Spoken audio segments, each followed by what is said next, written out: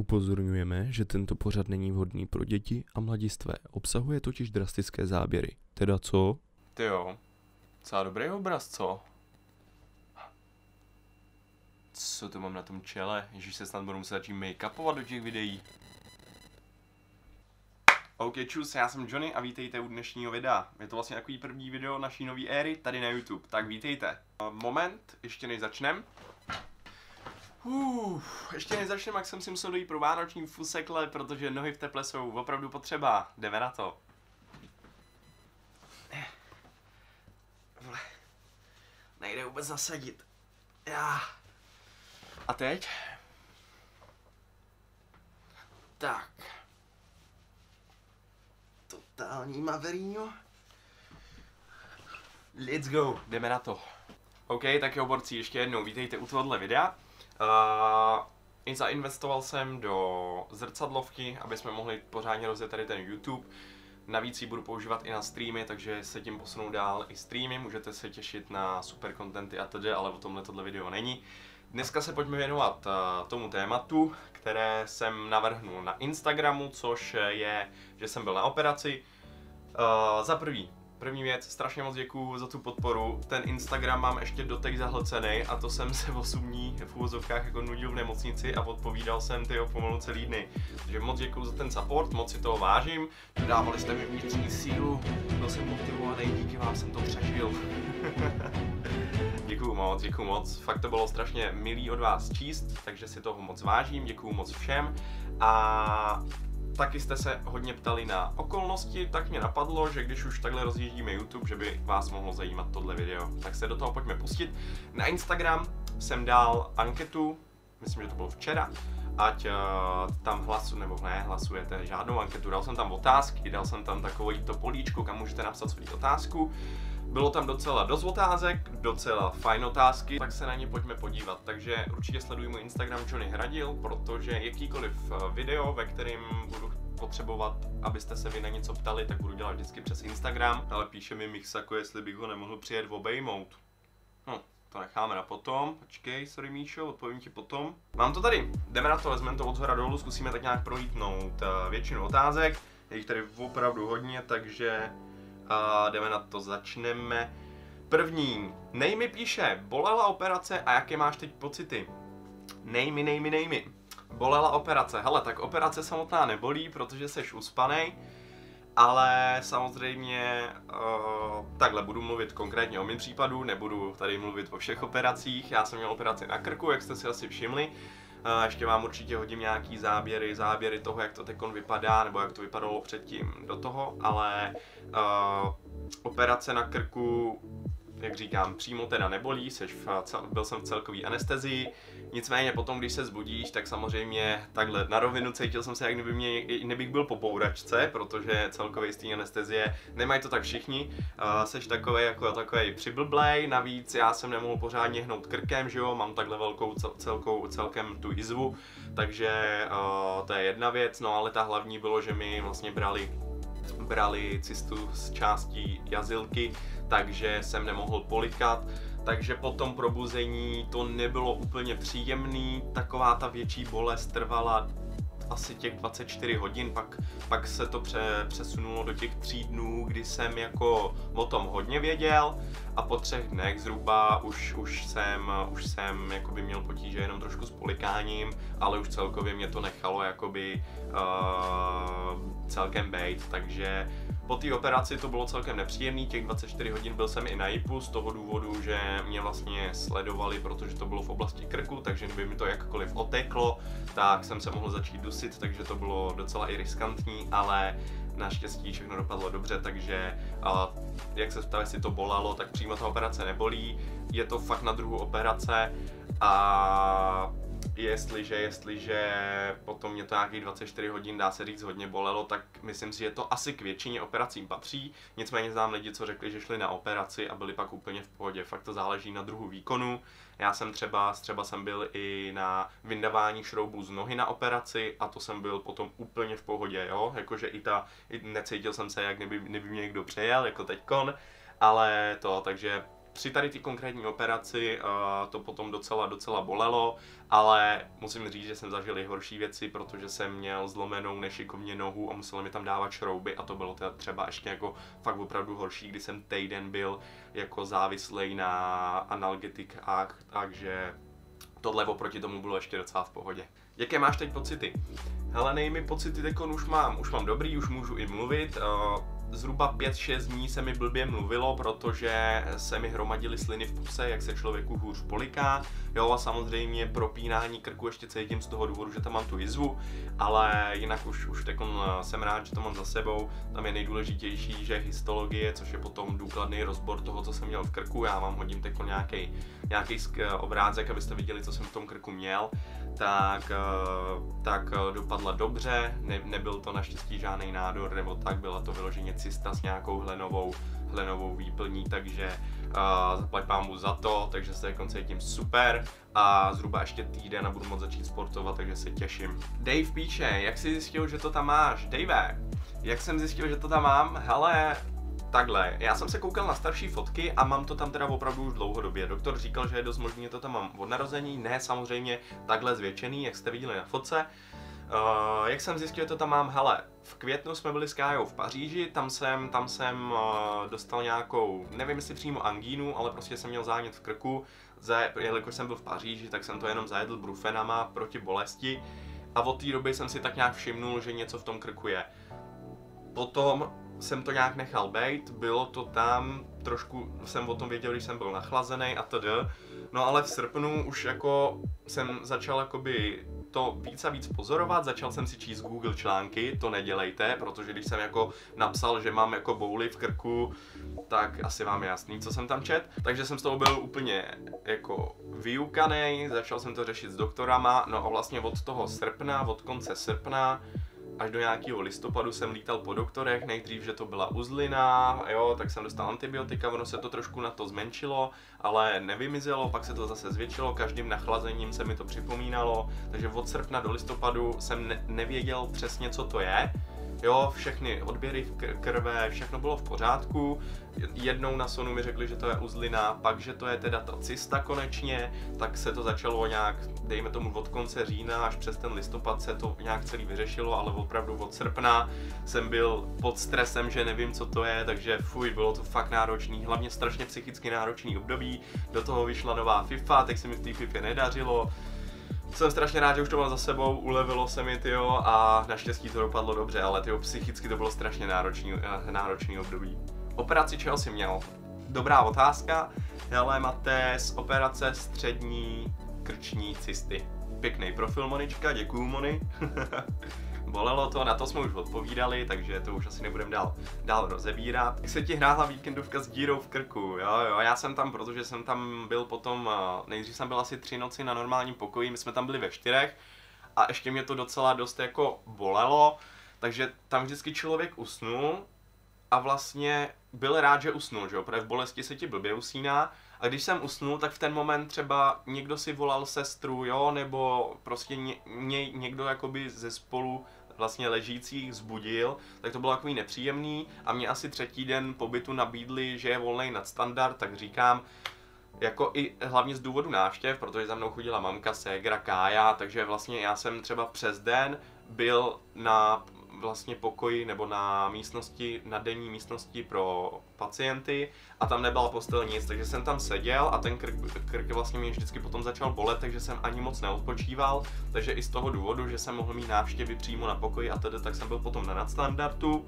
a vzhledem k tomu, že mi bylo líto, aby, abych propásl nějaký League odměny, když už, když jsem tam měl i televizi, tak jsem poprosil mamku, jestli by mi nepřivezla Playsta, abych odehrál nějaký zápasy na víkendovce, napojil jsem to přes data, šíleně se to sekalo, bylo to jako fakt hustý, to jako byl mazec a já jsem v tom, nechápu, jak se mi to povedlo. Dal jsem 20 ku 3 skóre, borci. 20 ku 3 skóre a říkám si super, budu to dohrát, pak jsem to znova napojil na data, nějakým způsobem už prostě jsem měl asi 120 KB update, nebo upload, sorry, ne update, ještě se mi hromadí trošku sliny, jak mluvím, a prostě nedalo se to hrát a já už jsem vyhrál snad jeden nebo dva zápasy ze sedmi. Já jsem asi čtyři z toho pak už i vypnul, takže je to škoda. Mohl jsem tam možná dát třeba i Elite 2, což by bylo úplně crazy, ale nakonec jsem tam skončil 22-8, což je jako zázrak, borci. Nebyste, jako to opravdu to bylo absolutně jako nehratelný. Tam jsem běžel s hráčem od půlky, běžel jsem na, nájezd od půlky sám a najednou prostě se mi to zastavilo, takhle to zrychlilo a byl jsem, byl jsem v Golmanovi, to jako fakt bylo hrozný, takže, takže se to hrálo jako na prd, ještě jsem mu toho musel stát, ale máme Gold jedničky odměny, takže to byl můj cíl, já jsem si přál hlavně, ať uhraju 20 vinů, aby jsme měli 100 kápeky, to se povedlo, měl jsem 20 ku 3 dokonce, takže fakt super. Uh, nevím, jakým zázrakem se mi to povedlo, ale dobrý, hlavně mi to docela zkrátilo čas, přece jenom máte to nějakých těch 30 zápasů, takže mi aspoň, aspoň ten vlastně poslední víkend už v té nemocnici trošku, trošku rychleji uběh, tak jsem, tak jsem byl i rád, že já vlastně jsem toho využil, že, že máme nějaký ty odměny když ti dávali anestezi, jaké to bylo? Hele, anestezie, já už jsem byl teda na operaci třikrát, byl jsem jednou s kolenem, jednou s tou zlomeninou, t, já furt koukám nahoru, jste tady, uh, s tou zlomeninou té nohy a potom, když mi vyndavali šrouby po té zlomenině, takže tak nějak jsem věděl, do čeho jdu. Hele, uh, dřív na anestezii, mi vždycky, když mě uspávali, jsem měl počítat, jedna, dva, tři, čtyřka už nešla vyslovit a už si usnul. Tentokrát jsem nepočítal, dostal jsem takovou masku do žíly, klasicky, že jo, anestezie a ale měl jsem masku, trošku se ti rozbuší srdce z, jakoby ze stresu, že jo, už cítíš, že jsi takový, ale jako trošku opilej, jo, už cítíš, že trošku začínáš to, že už to to a prostě nevím, do minuty, do minuty od té doby, uh, co, si, co si ti tam nastaví tu kanilu, tak uh, prostě usínáš, je to takový jako, takový uvolňující, nevím, nevím, nevím jak to popsat, takže jako Uh, samozřejmě trošku stres, cítíš, jak se jak ti jako toto, do toho kolem tebe asi 6-7 lidí, že jo, na sále, takže takže uh, jako jo, to samostatné uspání, ale se není čeho bát, nějak to nebolí nebo něco, takže takže uh, to uspání, to uspání je takový, asi bych to přirovnal k tomu, když se člověk hodně opije nebo něco takového, takže, takže uh, to bylo celkem v pohodě. Jak se cítil před a po operaci, jinak už je štěstí, aby bylo všechno v pohodě. Mílo, děkuji ti moc, kámo. Jak se cítil před a po operaci? Já, jak říkám, před tou operací uh, jsem hlavně takhle, já už jsem byl i na CT, protože samozřejmě byla to velká boule, člověk se bojí, co to je. Uh, tak jsem se, tak jsem hlavně si říkal, operaci vydržím, bolest vydržím, hlavně, jak to není žádný nádor nebo něco. Na CT teda už to jakoby nějakým způsobem vyloučili, ale vždycky se to posílá na histologii, aby se to ověřilo, takže zaplať pámbu, je to úplně v pohodě. Takže před tou operací jsem se ani tak nebál toho samotného výkonu, ale spíš toho, aby, aby to prostě nebylo něco zhoubného, nedej bože, nebo něco takového, takže fakt se mi strašně ulevilo, když vlastně nosíte to v krku půl roku, chodíte na vyšetření, nikdo vám přes nic neřekne, Google články vůbec nečíst, takže, takže jsem byl spíš takový jako uh, nervózní z toho, co to tam je, než, uh, než z té operace. A po operaci říkám, ale 2-3 dny, 24 hodin bylo hodně nepříjemných, vzhledem k tomu, že to byla velká rána do toho krku, pak dva, tři dny bylo takové, že jsem jako, fakt jako mě to docela bolelo, ale potom, potom uh, už vlastně jenom potíže při polikání nějaký a jinak to bylo fajn, takže, uh, takže v tomhle, v tomhle super, Nej, nejvíc, nejvíc teda bolelo polikat, takže opravdu, když jsem měl ty dva, tři dny, kdy mě to fakt bolelo, tak jsem prostě sbíral sliny, dokud jsem neměl plnou pusu slin, když to tak řeknu, a pak jsem jako udělal takhle a jednou jsem polknul a prostě jsem zase sbíral co nejdíl sliny, abych nemusel moc polikat, takže, takže v tomhle. Jak jsi na tom byl psychicky před a při po operaci, uh, jinak přeju ti, ať už ještě jo, dáš konečně těch 30 dnů, Ondro, díky moc, kámo. Ale na to jsem asi jako odpovídal, no, jako psychicky, nebál jsem se operace, protože už mám nějaký operace za sebou, bál jsem se toho, co v tom je, to dopadlo dobře, takže, takže tekon, tekon už se cítím super, obrovská úleva, protože říkám, půl roku, půl roku jsem byl pod psychickým náporem, že nevím co, pořádně, co tu mám v krku, takže uf, úplně, úplně jak kdybych se znovu zrodil, jo, v úvozovkách, takže, takže super, super, samozřejmě trošku ještě o tom člověk ví, ale to už, to už je jako minimální, minimální oproti tomu, co bylo ty první dny. Kolik máš zlomenin, kolik máš jizev? Hele, zlomenin, zlomeninu jsem měl jednu, bohužel jsem měl vykloubený kolena, to je mnohem nepříjemnější než ta zlomenina. Uh, jizvy, mám jizvu na jednom koleni, na druhém koleni, že mám dvě jizvy. Uh, dvě jizvy plus tuhle, takže tohle jsou tři, tři jizvy teď mám, no, takže Uh, takže tak a zlomeninu jsem měl jednu, bohužel jsem měl i ty vykloubený kolena, což bych nikomu nepřál, je to fakt, fakt hnus. Jak se cítíš po operaci? Už jsme, už jsme asi uh, Vláďo odpovídali. Jak se taková cesta vytvoří? Honza, to je Beldar, myslím, že? Pokud se nepletu. Hele, nechci nějak tady doktorsky, nějak mám něco říkat, jenom laicky, co jsem tak pochopil.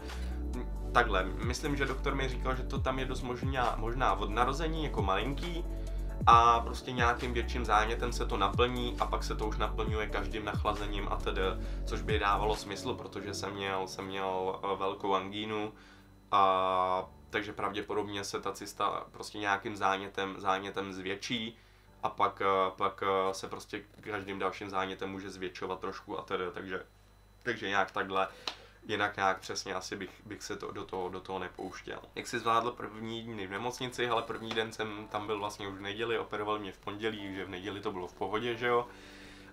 V pondělí po operaci jsem byl 24 hodin na JIPu, to nebylo úplně příjemný, protože uh, před, prospal jsem den po operaci, v noci už se, už se mi moc spát jakože nechtělo, takže jsem tam koukal do hodin, tam fakt jako není co dělat na tom JIPu, do toho to ještě bolí. Nicméně na tom JIPu to bylo asi nejhorší, uh, ta noc, protože už jsem, říkám, naspal jsem toho hodně přes den, takže jsem moc nespal, uh, koukal, čuměl jsem tam do zdi, ale uh, ráno mi tam přivezli na pokoj tyho sraženého chodce, který uh, byl docela jako dost pomlácený, navíc začal zvracet, jednu chvíli nějak měl i hodně slabý puls, že tam byl jako absolutní jako nějaký uh, jako docela chaos, že se nevědělo, jestli nebude muset třeba fakt nějak se resus, resuscitovat nebo něco takového. Naštěstí to, uh, to tam pak dopadlo dobře, takže takže to bylo docela chaotický ráno na jejku, tak jsem byl rád, že mě potom převezli druhý den na ten normální pokoj. Tam říkám, tam jako když člověk usnul, tak ho tam něco z dalšího zbudilo, tak to nebylo takový úplně příjemný, když jste ve čtyřech tam na pokoji, ale ale zvládl jsem to fakt jako v pohodě úplně. Kolik máš stehů a jestli jsi měl před operací strach, z pipy? Stehů, hele nevím, já už tam, já už tam stehy nemám, už jsou vyndaný. Ta rána je docela velká, jak si asi viděl, kolik tam bylo stehů, nevím. Na straně a na straně mi to šmykli a pak to jako vytáhli, takže nevím. Je to docela velká rána, čekal jsem, že to bude menší a hlavně, že to bude jakoby svisle dolů a ne vodorovně ale je to prostě takhle, takže, takže tak. A strach před operací, už jsme o tom mluvili, říkám, ze samotné operace jsem strach neměl, spíš toho, co tam, co v tom krku bylo, takže, takže tak. Jak, jaká byla operace, jak dlouho trvala? Operace trvala tři čtvrtě hodiny až hodinu zhruba. Jo, takže, takže proběhla bez komplikací, takže, takže fajn. Byl v nemocnici dílej ve to si píš, jako svině. Jsou tam pěkný doktorky, ale tam byli, byli tam lékaři a sestřičky, že jo, doktorku jsem tam neměl ani jednu. Tam byli sami, sami, pá, sami páni doktoři, takže to... A jako na JIPu byli docela pěkný, pěkný, pěkný sestřičky, zdravíme Káju. Jaké, jaké byly pocity, když jsi čekal na výsledky té věci v krku? Asi byla možnost nádoru. No, spurňáčku, o tom jsem tady mluvil. Ale hrozný, hrozný, kámo. Fakt, ty vole, to byl... Sorry, no, ty vole. byl to jako fakt nápor na psychiku, kámo, dlouhodobý, takže se mi strašně ulevil. Žádná je na sestřičky nebo ne, tak ono, ono nemáš moc kámo náladu, když máš rozřízlej krk, bolí tě to, nemůžeš polikat, tak nemáš moc náladu na to čumět po babách, takže, takže si myslím, že ani nemusel. Myslíš si, že je normální hrát pipu po takové operaci si blázen, ale náš blázen? Ale Niku, tak já jsem si to říkal takhle, vem si, že ty odměny z víkendovky jsou zhruba hodnota 2,5 tisíce korun jedny FIFA pointy, protože z jedných FIFA pointů průměrně dostaneš 100 až 200 tisíc mincí, pokud ti nic nepadne, což ve většině případech bohužel se děje. Takže mi bylo líto, když vlastně jedu tryhard, dávám do té hry peníze, najednou přijít o investici v hodnotě 2,5 tisíc korun, když je ta možnost to odehrát. Já jsem tušil, že to odehraju třeba na Gold 3, protože jsem věděl, v jakých podmínkách hraju. Naštěstí se to povedlo na Gold 1, takže úplně super. A hlavně mi to kámo vem si, jaký to je prostě být zavřený 8 dní, 8 dní na nemocničním pokoji, jako, takže mi to i docela, docela zkrátilo ty poslední. Jaké měl jídlo, ale jídlo teda musím říct, že fakt nic moc. Na tom nadstandardu potom už to bylo lepší, ale, ale jinak to nejlepší byla bramborová kaše, tu měli fakt dobrou, ale jinak teda to jídlo, to jídlo asi, asi, asi nic, nic, co byste si sami doma doma jako objednali, no, takže, takže tak, ale to asi k těm nemocnicím patří. Uh, vylepšili ti na sále FIFA skilly, no to doufám, uvidíme příští víkend. jak se cítil po operaci, to už jsme taky říkali, jak tam vaří jsme taky probrali. Měl jsi z operace nějaký velký strach a byla to náročná operace nebo spíš obvyklá operace? Čo blbám, Pepa Šindelka, hele, hele, jak jsem říkal, z té operace samotný úplně jsem strach neměl, protože už mám, už mám nějaký za sebou. Jestli to byla náročná operace nebo spíš obvyklá, takhle, mě doktor vysvětloval, že to je, není to jednoduchá operace, není to nějaká, tyjo, obr náročná operace, něco tak zhruba střední, spíš je tam jako hodně riziková ta pooperační fáze, kdy vlastně jakmile by to nateklo, tak bych se začal dusit a td. Takže Spíš bylo důležité tam opravdu těch 8 dní být a být sledovaný, aby, aby prostě ne, nebyly otoky a td. Takže operace tak zhruba střední, ale ta pooperační fáze byla, byla rizikovější.